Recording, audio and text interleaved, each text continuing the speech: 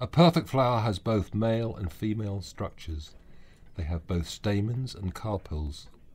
The female and male parts form the whole, a complete flower.